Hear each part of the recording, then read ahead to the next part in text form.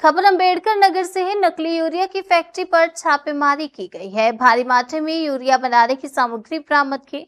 इब्राहिमपुर थाना क्षेत्र के कटियार गाँव के निकट एक गोदाम में नकली यूरिया बन रही थी। सीओ टाडा शिवम कुमार के निर्देशन में थाना प्रभारी श्रीनिवास पांडे ने अभियान चलाकर कार्रवाई की है। यूरिया बनाने वाले भी पकड़े गए हैं। कृषि विभाग के संरक्षण में ये कारोबार चल रहा था। ये सूत्रों के हवाले से जानकारी मिली है।